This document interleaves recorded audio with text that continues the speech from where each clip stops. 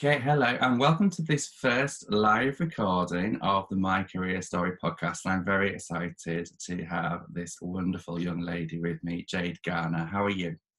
I'm good, Steve. How are you? Not too bad. Yeah, we had a bit of a few, few technical difficulties just there, then getting started, didn't we? But it's that's what happens when you move to the Lake District, I guess. you're still down in London, aren't you? Yes, I am. Yeah, near Greenwich now. Yeah, excellent. Cool. So I know you've got a busy day ahead, so we'll get cracking on things. And I will just start by saying, Jade, what is your career story? So, my career story actually began exactly four years ago today. It came up on my timeline this morning as a nice reminder. Um, so, I left sixth form, having finished my A levels at 18, I studied uh, maths, economics, and geography, and I mm-hmm. started an apprenticeship at the same firm I'm at now, which is EY. Mm-hmm. Um, across those four years, I've done a lot of work within the insurance industry as well as sitting my ACA exams, of which I hopefully only have one more left to complete. I get my results for two of those next month, and then, yeah, hopefully sit my final one in November. And mm-hmm. then by the end of the year, I should hopefully be a qualified chartered accountant which I was just going to amazing. Ask. Yeah, so that would be a nice, hopefully a nice Christmas present to end Definitely have a nice break yeah. off over Christmas if that's okay. exactly. So, like as you said, so you've uh, been doing your um, apprentice uh, apprenticeship at EY, and that's where we met. Is next year one of the young people that joined the programs that I was um, helping to recruit for and everything. So, talk us through that journey. How did you discover that an apprenticeship um, was at that point something that you wanted to pursue other than the different options which were available to you? Sure. Um, so I think I'd gone through most of school just assuming I would go to university. Um, simply because I think at my school there was a very high rate of people that did, probably about 95% um, mm. of people did so, and certainly people that were doing academic subjects they were expected to go to university. That was just the done thing. Um, it wasn't really until I got to the first year of A levels that I even questioned whether something else was a possibility, really. But um, I had some older friends through my part time jobs, and well, a, a, lot of, and that was at Debenhams. Um, and a lot of them has come out of university having studied a range of different degrees and they they'd struggle to find jobs in the industries that mm-hmm. they wanted to work in and I, I, was worried that I would go down the same path myself having spent a lot of money to, to study a degree that might not even you know get me in a job within that industry um, so I went along to um, a few university fairs with my school and one of one of them that I went to, I think it was at um, the Alexandra Palace, and um, they had a stand there with some people from EY, um, and they they were discussing the apprenticeship opportunities that were available. I, I wasn't actually aware myself that it was something that I could do, but after having heard from some people there that day and having researched some of the programs, I also went away and researched some of the other programs with some other similar firms and made the decision that actually uh, this would be a good idea to apply to and you know if i could bypass doing uni and be qualified at a younger age i think that made a lot more sense to me whilst yeah. getting a lot more experience along the way mm-hmm.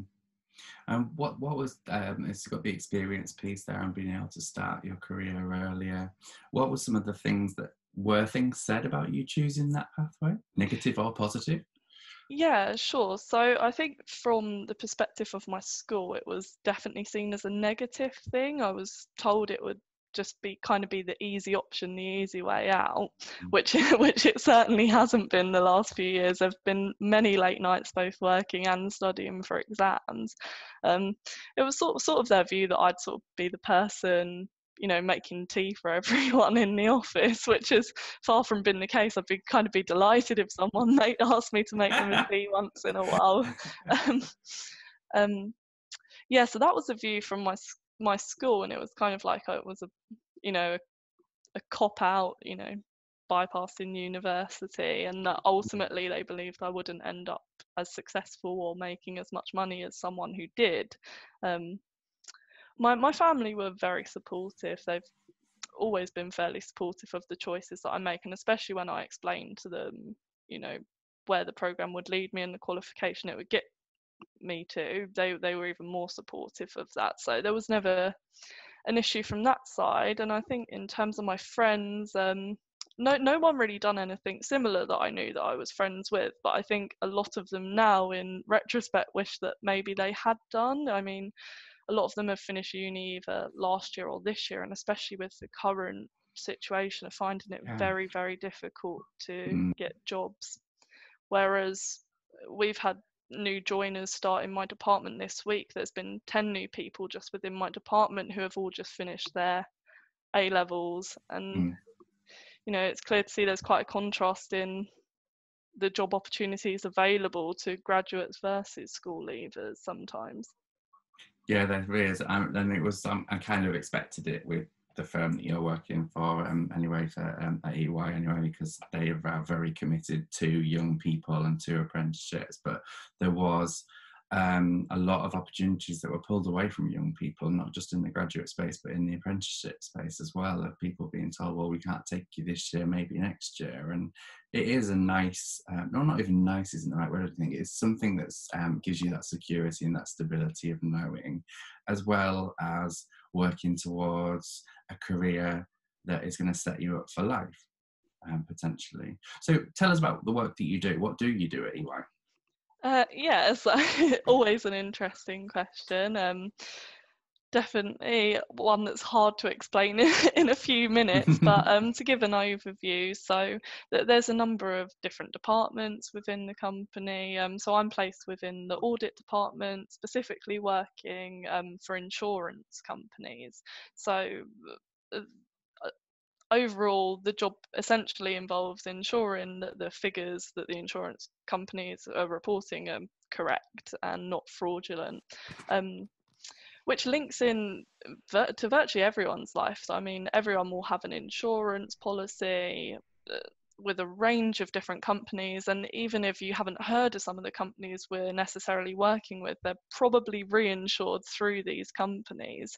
So, the importance of making sure that these companies you know do have the money they say they do do have the assets they say they do is links into everyone's day-to-day life as if one of these companies go bust you know you're not going to get any of your money paid out. So you know it's kind of up there with the importance of banks and other financial institutions that um, and I think I've realised that more across the years actually the vital role it plays in upholding the economy. So yeah I'd, I'd say um, in terms of my day-to-day role, I probably well not at the moment, but prior to working from home, my time was sort of split 50-50 between going to the office and being out at client sites. So some of those are more local in London. Um, I did get the opportunity to work in Edinburgh for about four or five months, which was a beautiful city to have the opportunity to work in. So there's a nice range in terms of it's not constant travelling, but there is an element of that as well. Um, in terms of being out at client sites, it will involve um, a lot of meetings with clients and a lot of speaking to people, which is part of my role. I really love, you know, having that interaction and helping people to solve real issues. Yeah, yeah. And I think that that travel piece is, I mean, it's obviously something that is restricted at the moment, but it's something that's really important part of people's career. Sometimes it gives you that global mobility piece of being able to think about whether or not I could go and work in a different office for an extended period of time. I remember the, the time that you were up in Edinburgh and the, what you were sharing online and stuff. And so it's nice to see that as well, that when you're on an apprenticeship, you get given those opportunities because I, I, kind of what would you say to somebody that might say oh well if you're on an apprenticeship you're not gonna i mean you mentioned making cups of tea there but even if you're an, an, apprenticeship and you've got a formal structure there, people might go, oh, well, that's something that you earn. Kind of, I don't feel from my experience of apprenticeships, not just at EY, but other companies as well, that that's the case. Um, when you earn that trust and you show that you're capable, people will give you those opportunities. You'll get the same opportunities as anyone else within that firm, is the way I see it. You're not looked at as a lesser person. But uh, as you say, it's very much building up that trust and respect. And if, if you can't build that up, then no, you aren't likely to get those opportunities. But over time, as you do show that and you do gain that respect, then yeah, there's no reason why you can't have the same opportunities as somebody else. Mm. And what do you get out of working um, as an apprentice, working along more experienced colleagues? What have you learned from them? Um, so, so much, whether that be from, you know, insurance specific skills, which I'm sure isn't overly interesting to people that will be listening to this. But I, I think I think the more important thing that I've learned from spending so much time with people, you know, that have had professional careers that have spanned 20 years plus is those skills of speaking to people in meetings and you know learning how to engage with clients properly and to build up that trust and reputation with the client and the confidence you develop as well to lead and present meetings and to believe in your own ideas as you're presenting them. I think they're all very important skills that possibly i wouldn't have got so much if i went to university and i think having those skills will put me in a better position for any future change of career that I wish to have. Mm. And do you think were any of those skills that you're using today taught as part of the curriculum or the work that you did at school? Or was that something that you had to learn for yourself as well? Sure. Um, well, I think whilst elements of it are maybe touched on in school, so uh, I think more so in sixth form, certainly not in up to the point where I'd finished my GCSEs, they hadn't been touched on. But I think going in sixth form, they did try to prepare people a little bit more for the wider working world and try and encourage us to do presentations in front of people. So whilst they were touched on, I don't think they gave you, you know, enough of the experience you need for real life. mm. But, but perhaps they're some of the skills that you can only really develop by putting them into, you know, a real situation yeah, I, I completely agree. I think that's like the the careers that I've had where I've been thrown in the deep end. My own journey when I started at EY, I'd never done branding and marketing, and I was lucky that I had a mentor and my director that saw the opportunity and kind of went, "You've had time working with young people. I don't know anything about them. I know all of this. Let's work together." There's a lot that I see in the apprenticeship space of partnerships and peer mentoring of, of um, more experienced people learning from younger people, which I find fascinating and really encouraging as well. Especially with um, the tech elements. Absolutely, yeah. I'm lucky. Um, my father's got um, a new iPhone arriving this afternoon, and I'm dreading it because I know we're just going to hours trying to work. You're going to get shouted at. yeah, probably I'll get shouted at. Yeah. Um, and so, thinking about your career so far, so the four years that you've had working um, where you are, so what have been some of the highlights for you? I think um, one of the highlights, which I'm sure you'll remember, was going to the School Leaver of the Year awards. Um, yeah, yeah well I, I, don't think that was the whole of the awards but it was you know an industry awards for school leaver and apprenticeship programs and being nominated as school leaver of the year and coming runner up in um, i think that was 2018 now yeah. that was a definitely a big highlight and I, th- I think that was a real moment for me which gave me a lot of confidence to you know believe in my ideas more and just go for things and take opportunities. And that was yeah thanks to yourself and thanks to a number of other brilliant people that I got to work with within the firm. Um, as well as that I think just the feeling of passing these exams and getting closer to the point of qualification is so rewarding. As you know when you st- when I started the apprenticeship kind of had well had my A levels but I didn't have a uni degree. And I was kind of worried you know what if I don't pass these exams? What if I never reach that point of qualification? Will I have made a mistake? Mm-hmm. um, but you know working together with your peer group passing those exams is so rewarding as you feel like you're working towards something big that will yeah really hold you in good stead for the future. Mm. And let's flip it around. What have been some of the challenges that you've faced that you might have struggled with or obstacles that you've had to overcome? Uh, I, I think initially it was just that step from going to sixth form a few days a week for a few hours to starting well it's not it's often not nine till five working you know five full days a week sometimes a lot longer hours. I think just the the initial shock of that I found that very tiring the first few months and just being prepared for that.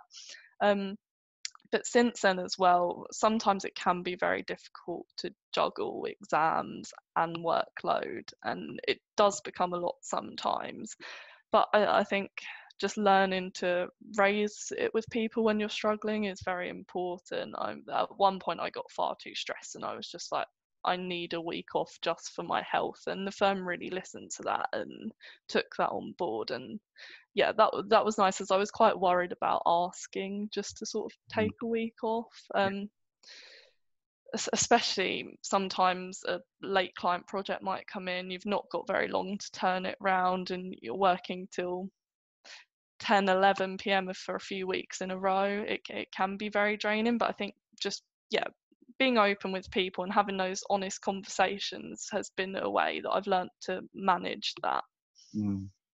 and, and just making sure i guess being a young person that still find the time to enjoy my own life. I think initially starting the job, you kind of forget that because you want to put everything you have into this new job and to prove to people that you know you're you were worthwhile hiring and that you're you're worth their money. but um, I think as I've spent a bit longer here, you must realise that you know your other relationships and friendships need to be just as important Mm.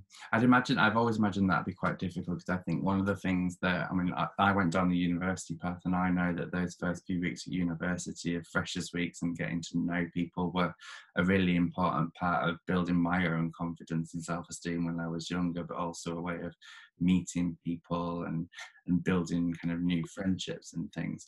Um, and I think sometimes some young people worry that they're not going to make um, friends that it's going to be a competition and that you've got to be able to be the perfect candidate right from the start.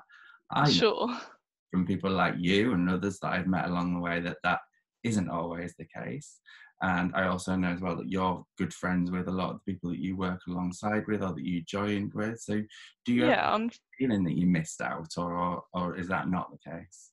I definitely don't now. At first, I was perhaps a bit worried that that was the case, as I think, yeah, those uh, uh, compared to when you go to uni, right, the first few weeks are freshers' weeks, everyone's going out all the time. Whereas maybe starting at work, those bonds took a little bit longer to form as everyone wants to be kind of professional and on their best behavior when they're first joining. You know, a lot of people are very quiet and very reserved.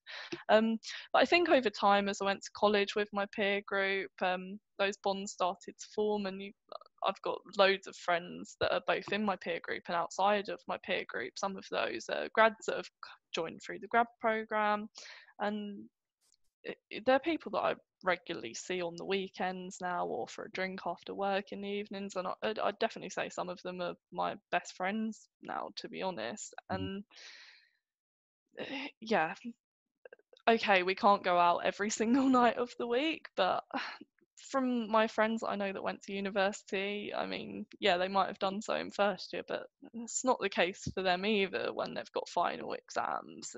You know, it's not going out constantly. So I, I, I don't feel overall I've missed out, especially when I see the amount of extra money I've had to do things in them and the holidays I've been able to go on.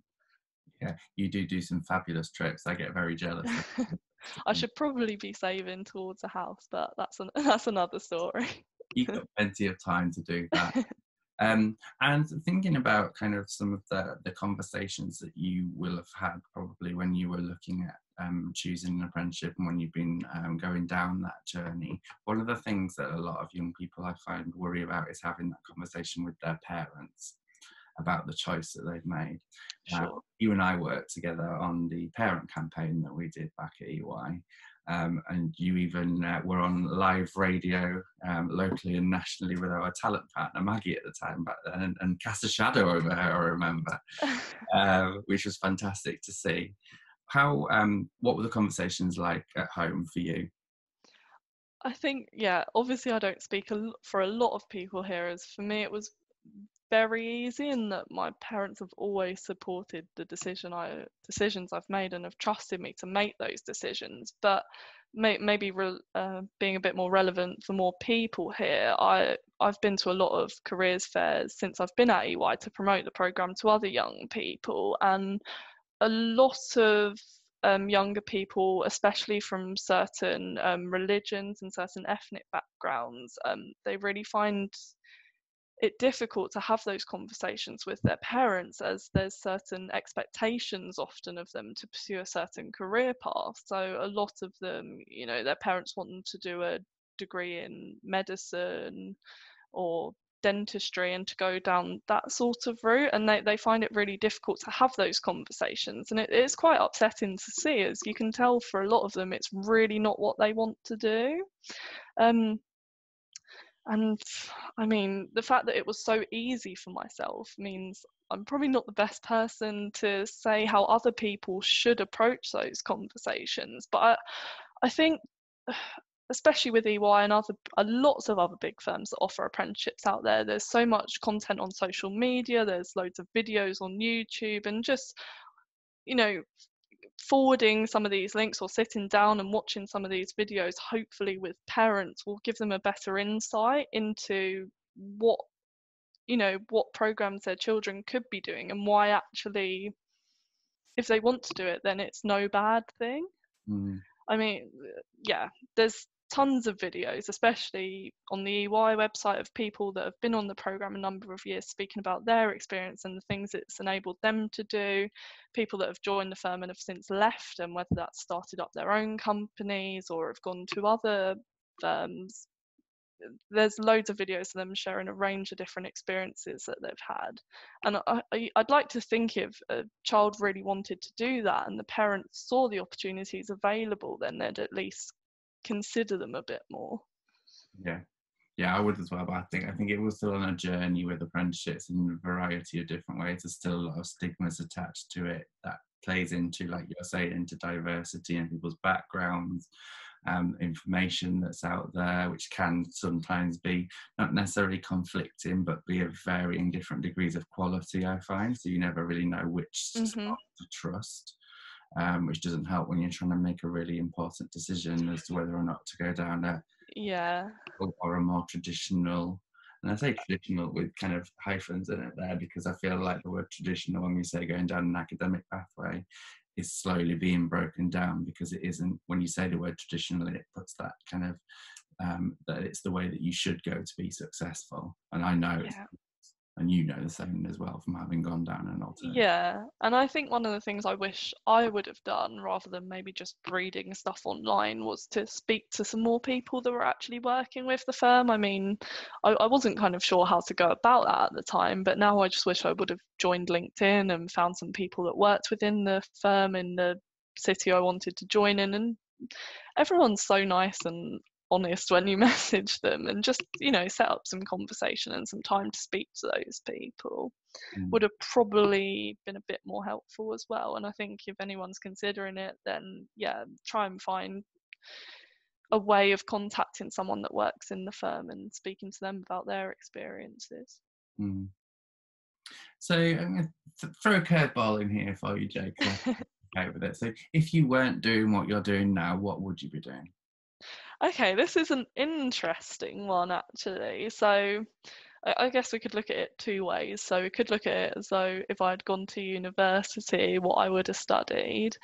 So um, very much like yourself, I was thinking of actually studying geography at university. Um, I was thinking of specifically doing meteorology, which is quite a quite a niche area to go into. Um, when I was growing up, it was kind of my dream to be a weather lady.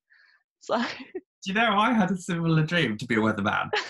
weather we could we could um set up our own weather show. Yeah, just don't. Maybe it's the future. Yeah, massive whatever um, Carol Kirkwood did on the uh, news, news a few weeks ago. That's interesting. That okay. Well, what was it about meteorology and geography in particular? Just always found the weather like really fascinating. I'm not too sure why, to be honest. Um, yeah, just always quite fascinating about, especially watching some of these programs growing up on TV about some of the freak weather events you Mm. get somewhere. I just always found them so um, like amazing and like you kind of can't believe what you're seeing with your eyes that that could happen. Um, and the science behind it is pretty interesting. And even the things some scientists can't explain why they happen. So yeah, I always thought it was quite interesting. Um, if I hadn't gone to university and I maybe had to choose another career, that's maybe a more difficult difficult thing to say where I would have been now. Um, because I applied to a number of other accountancy apprenticeships too, and I got some offers on some of the others that I applied to, but I decided to come and work for EY just based on the people that I met along the way, and I found it the most approachable firm, and I felt like it was my best fit. Um, other than that, what other interests do I have? Um, I think if I wasn't maybe studying accounting, I'd quite like to do something in terms of sort of planning. I, I like planning and organising things. I think that's where my best skills are. So maybe something like a wedding planner, I think, could be quite exciting. You know, having a nose on people's plans. I like that. That's good options there. It's quite a variety of things I've mentioned. Right, it's good. It's good. Never know where the future will take me. Exactly, yeah. And I think that's the thing that we um, all need to bear in mind at the moment is there is a lot of ambiguity out there, but I look at it and go, well, do you know what? We're all going through the same thing at the same time at the moment, and that's hasn't happened for a very long time, if ever. Um, and so you've got to be hard as it is, you've got to be optimistic about things and stay positive and look for the opportunities that you can find. Um, and I know that could be quite flippant if anybody's listening and thinking, well, that's easy for both of you to say you've both got jobs and you're working. Um, and some of you listening might have been made redundant or might be struggling to find work having come out of university or sixth form over the summer. But um, there's a lot to be said for that positive piece. And I think personally, for me, a lot of that comes from looking after myself and focusing on self care. How do you look after yourself to make sure? Because you mentioned you'd taken that brave step and kind of said, I need some time. Um, but how do you make sure that um, you are looking after yourself, Jay? Yeah, so I, I think I especially didn't take care of that in the first sort of two years of my career, and it's definitely become a bigger focus now because, well, if you let things build up for too long and don't address them, then it creates a much bigger issue. So I think the first step is just recognizing those initial signs of when it's getting too much for you. And the things I'd say I do to take care of that is definitely introducing more exercise into my life. I sort of after leaving school and stopping doing PE the first couple of years of work, I did nothing. And at that age, your metabolism starts to slow down as well, and you pile on a few pounds, and it just doesn't make you feel good in any aspect. It makes you feel lethargic and tired all the time. So I think, yeah, regular exercise is definitely a big thing that I've tried to um, introduce more. Um, other than that, I think just taking more regular breaks, um, having a few days off here and there, trying to find more time for some holidays and mini breaks is another important part. Yeah, great. So I'm going to um, wrap up the interview. There's one question that I ask every guest to finish with, and that would be, what is the best piece of career advice that you would give somebody listening, Jade? Or the best piece. Okay, this has got to be good. Mhm. Um, so I think the best piece of advice I would give is to really understand understand yourself and what it is that you want to get out of something. I think to make the most of any opportunity, you really need to know what you want to get out of it and establish that first of all, and to make other people aware of that. And making other people aware of what it is that you want to achieve at the end of something means you're a lot more likely to get the opportunities that will guide you in that direction. Fantastic piece of advice. Love it. Great. Well, thank you very much for um, joining me today on the podcast, uh, Jade. It's been great to see you and to hear more about you and to catch up. Lovely to chat to you too. Excellent. Um, if you're listening and you've enjoyed the episode, don't forget to um, to subscribe and please do leave a review as well. And we'll be back next week with another episode of the podcast. Bye for now. Great. I'll speak to you soon.